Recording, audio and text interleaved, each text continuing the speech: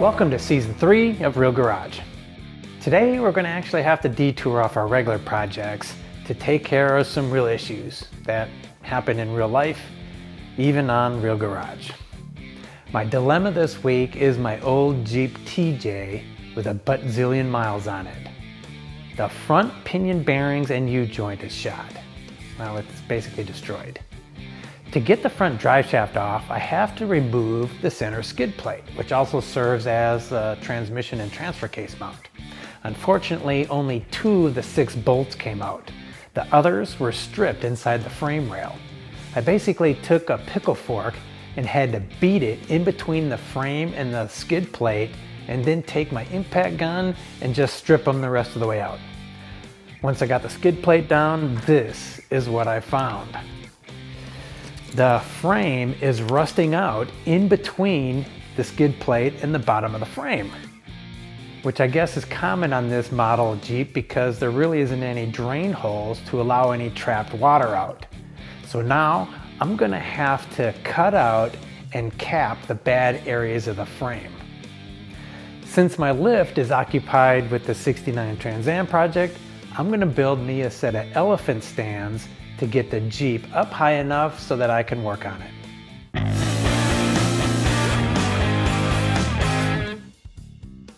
Okay, this is an elephant stand.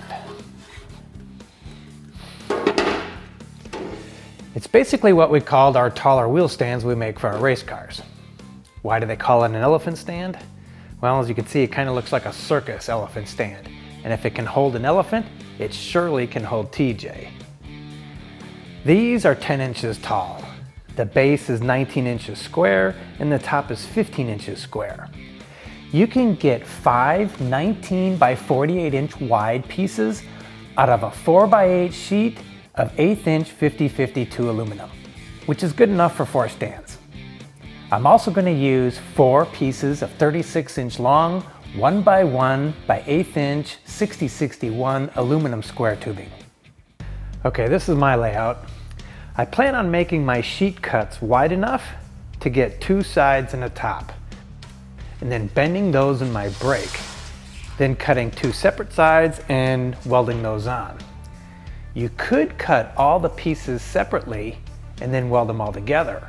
It really ends up only being two more top side welds.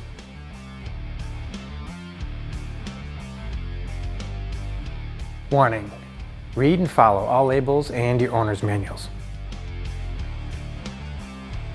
Cut four of your 19 by 48 inch pieces to 35 inches.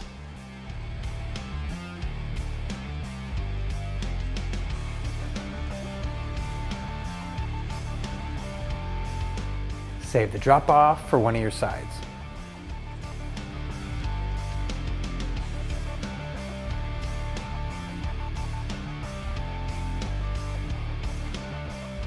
Cut the remaining 19 inch sheet into four pieces.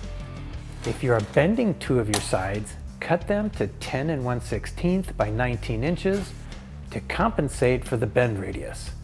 Or stick with 10 inches by 19 inches if welding all sides separately.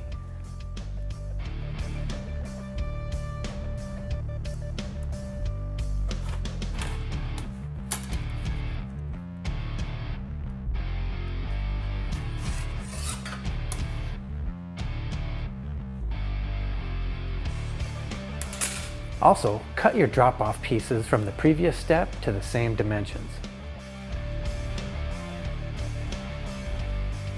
On all your 35 inch pieces, mark 10 inches in from each end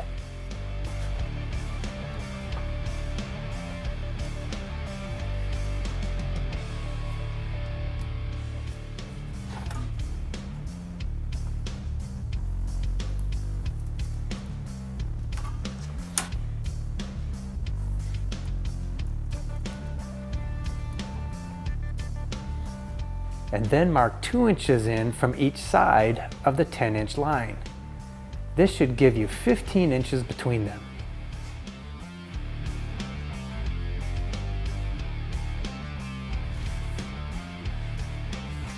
Connect the marks on the 15 inch line to the outside edge of the 19 inch side. These are your cut lines and makes up two sides and the top.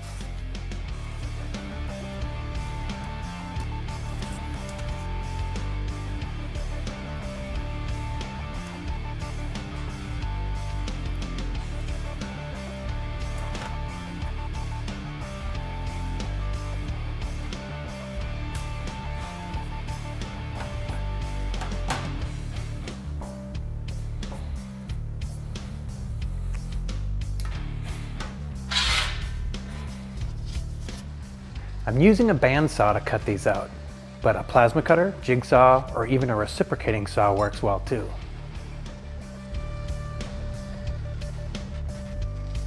Now take all your 19 by 10 inch side pieces and mark 2 inches in from the top 19 inch side and draw a line all the way down to the outside edge of the bottom 19 inch side. You're going to cut that off and make sure that all your sides look like this.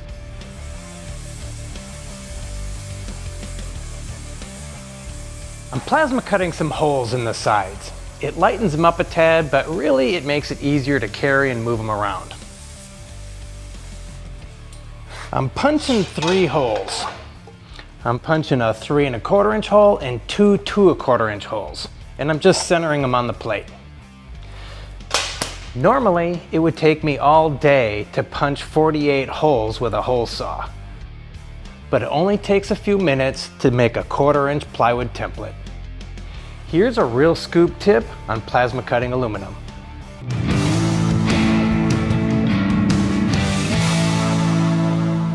So here's my real scoop on plasma cutting aluminum. Well, actually it's more like a real garage full disclosure. When plasma cutting aluminum, it's basically like plasma cutting steel except the max thicknesses are less because aluminum is such a good thermal conductor. You're gonna have to turn the amperages up on your plasma cutter just to cut the same thickness as you would on steel. Also, the cut area on aluminum isn't nearly as smooth as it is on steel. Now the top of the cut is smooth, but when you get to the bottom, the dross and the cut zone are much rougher and need to be cleaned up. I'll typically use a small flap wheel, grinder, or even a belt sander to smooth and blend the cut area. I also like working with templates. It helps make much smoother cuts than just freehand because plasma is like a little laser. Any slight movement in your hand is going to be cut into your piece. I'm cleaning up all my holes and rounding the top corners of my side plates. Okay, it's time to bend these. I'm looking for about 78 degrees.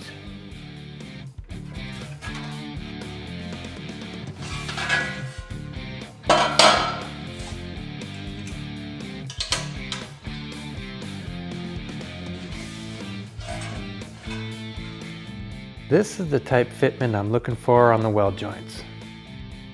I'm not fully overlapping the side pieces.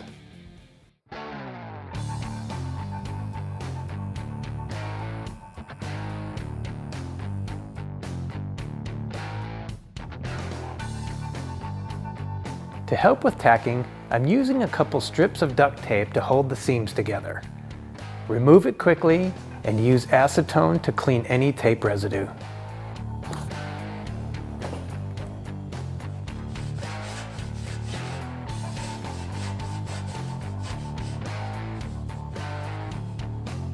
I'm using 332 53 56 filler metal starting at the top seam and then the sides. For these welds, I have my Multimatic 220 AC-DC set at 90 Hz and 72% on the balance. Remember to prep and then clean all your weld joints with acetone before welding.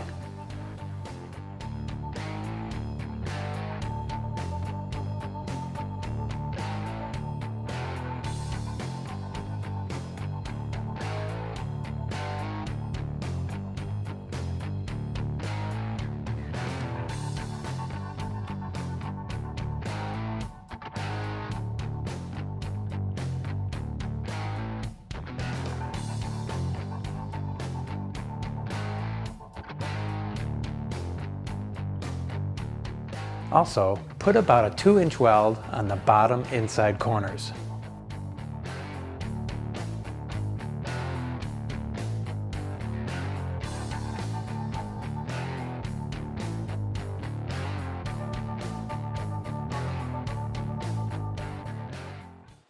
Now cut and fit two pieces of the 1x1 square tube to fit underneath the top. If you have a miter bandsaw, set it for about 12 degrees. Mine were 15 and 5 16 inch long. If you bent your sides like I did, you'll also have to round the bottom ends to fit inside the corner bend. I'm welding these to my two bent sides, centering them 6 inches from each side and clamping them tight against the top plate. You could TIG weld these in or use a spool gun. I've done it both ways.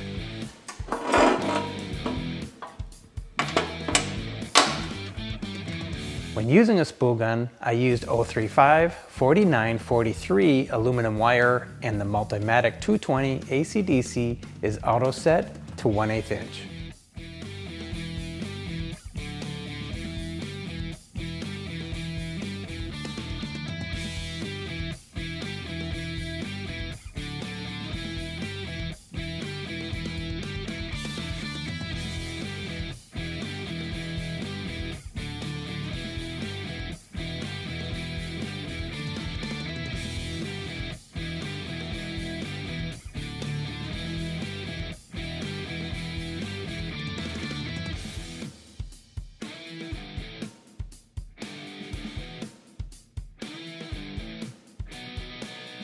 You should have another piece of drop off about 8 inches wide by 19 inches long. That's enough to cut 8 pieces, 2 and a quarter inches by 8 inches. Okay, these are going to be welded on the outside, but in line with the bottom support tubes. They basically serve as a tire stop in case the vehicle rolls on the stands. They're going to be welded about halfway up, so that's going to be about an inch to inch and an eighth I would put a two or three inch weld on the inside and then weld the outside corners.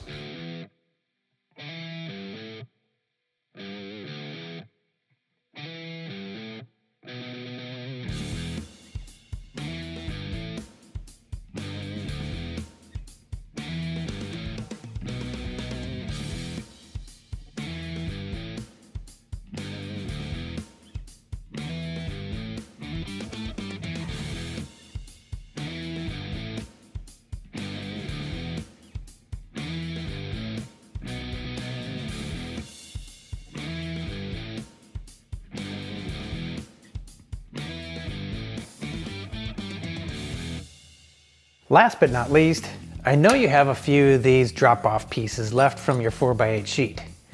These are about 3 inches wide. Cut 16 2-inch pieces off of them and then bend them at a 90 degree angle. These are going to be your bottom corner doublers. After you weld them on, check your corner welds and make sure that they're flush with the sides. Grind or file them if needed.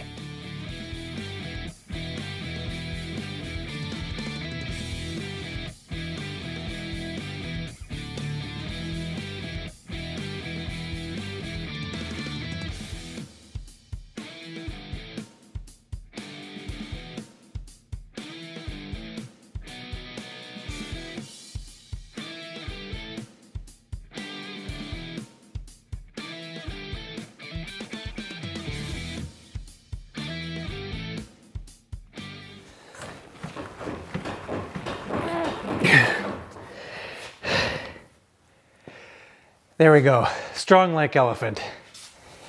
And a lot easier to work on. Like all stands, only use these on a flat level surface. Now TJ here weighs a little over 3,700 pounds. Most of the vehicles I work on are about 4,000 pounds or less, and these stands are plenty good for that. If your vehicle is heavier, you may need to bump up your material thickness. So do your own testing and make sure you're confident in your welding ability or seek out a certified welder. Next time on Real Garage, we cut out and replace TJ's rusty frame rails.